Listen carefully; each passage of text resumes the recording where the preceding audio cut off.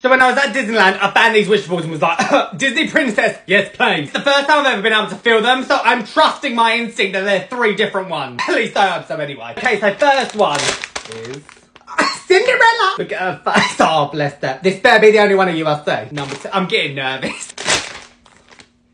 Mate, she has a pink dress on it. Is this a special one? Oh, mate. okay, the last one. Please don't be a double. What? I'm so confused. I've got the same one but in a different colour? I mean, bibbity bobbity boo, you know?